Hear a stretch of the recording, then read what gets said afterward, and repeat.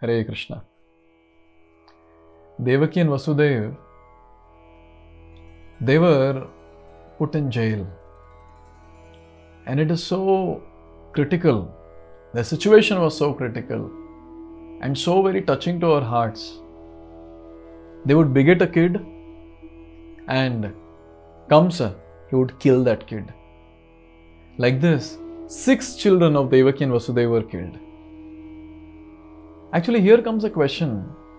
When they were knowing that Kamsa will kill all the kids they beget, because he always had that fear that eighth child of Devaki will kill me and that eighth child can be any of them. And therefore, he had this very, very cruel, demonic mind where he wanted to kill all of them. And Devaki and Vasudeva knew this very well. Then why?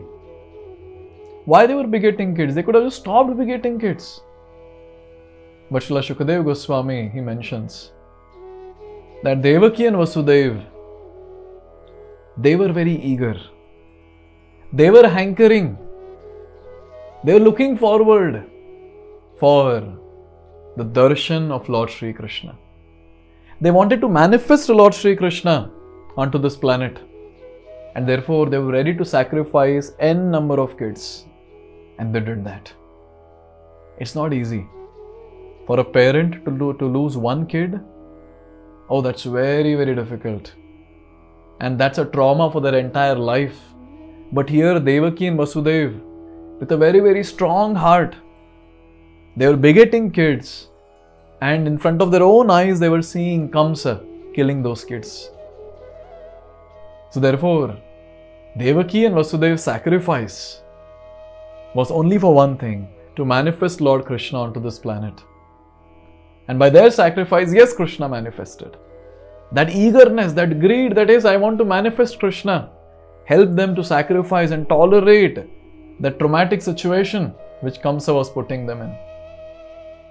Even in our case, if we want to manifest Krishna, then we also have to sacrifice all the kids that we beget every now and then.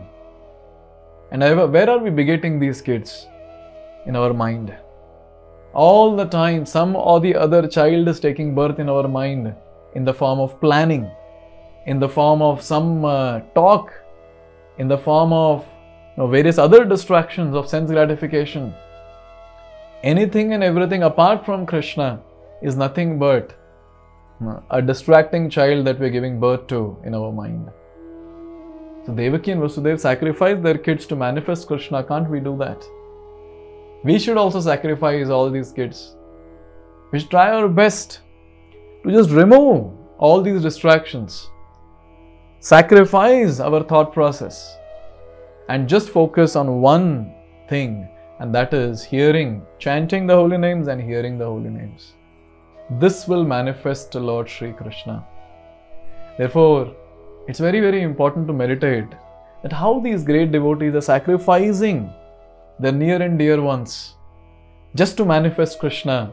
Can't we sacrifice our, near and dear ones which are getting manifested in our mind, our various distracting thoughts to manifest Krishna?